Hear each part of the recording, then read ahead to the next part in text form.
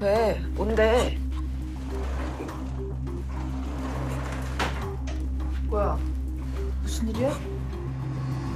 왜? 뭔데?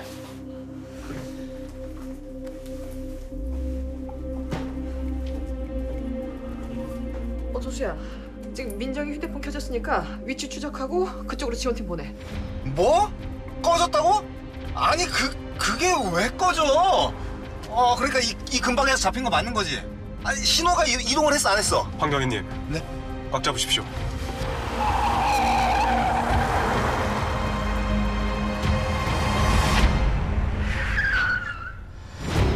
잠깐만.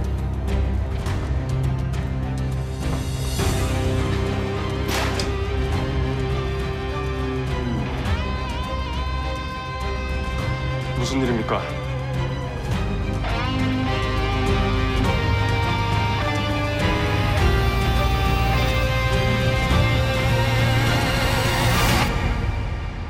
아빠, 나 좀 꺼내줘.